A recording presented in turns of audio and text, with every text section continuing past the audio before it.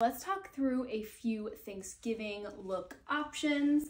This is my first option. So I have a super oversized cozy cardigan from Jenni Kayne. I love this. It's super snuggly and I love the texture of it. And because it's so oversized, I wanted to pair it with something on the bottom that was a little bit more structured. So these are still like loose and slouchy oversized, but I feel like because they're tailored, it still gives them a little bit of balance to the like slouchy cardigan.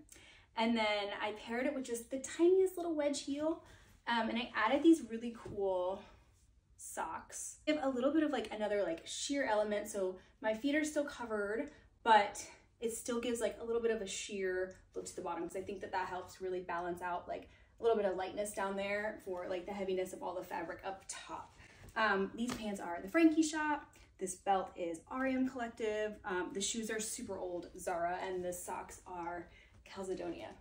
I left it no necklace. I just feel like it is almost like a little bit more sexy, understated than adding a necklace. You totally could, but I just feel like the earrings are kind of like the statement and the hair is just like a half up to like really emphasize the look.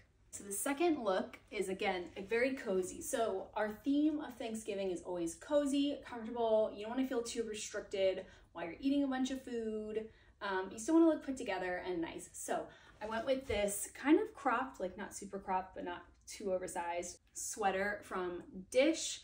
These pants are also Dish. I went with these loafers, which I love. They're like a croc embossed from Freda Salvador. Neckline's like bold here. So I just went with an earring instead. These are vintage clip-ons from Julia Von. But yeah, this is look number two. Again, cozy, but I think the cropped um, still gives it like a little bit of shape Okay, so for this third look, you guys have definitely seen me wear this before. I love this outfit. So both the cardigan and the pants are from Naked Cashmere, super luxe. I love the fit of this cardigan. It's so pretty with the like wide sleeves and it's fitted here.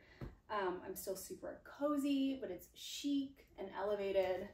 It's like a big hug. I love this. So I added a necklace to this one. I just felt like with the neckline, it was really pretty, a little sparkle.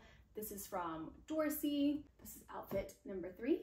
Okay, so the last look that I'm thinking about is this. So I have corduroy pants on from Citizens of Humanity. They have some stretch, they're super comfortable. So they're not like uncomfortable, restricting pants. You know what I mean? I can't, I can't do that for Thanksgiving.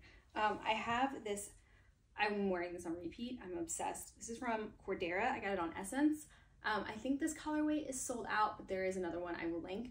Um, it's just a really pretty like cardigan waistcoat kind of situation, which I like because sometimes like when I'm eating, I don't like sleeves. It's like a thing. So um, obviously like to keep you warm, you can have a coat and then, you know, take it off when you're inside. I mean, usually it's warm anywhere you go anyways. So I have this gorgeous coat from Ken Jenni Kayne that I love. I love how dramatic and long it is. And I have these cozy socks from Calzedonia on and just my rose slides, which it's just easy to slide on and off. And then, you know, I'm super cozy in my socks. So that is the final look. Which one is your favorite? Comment and let me know.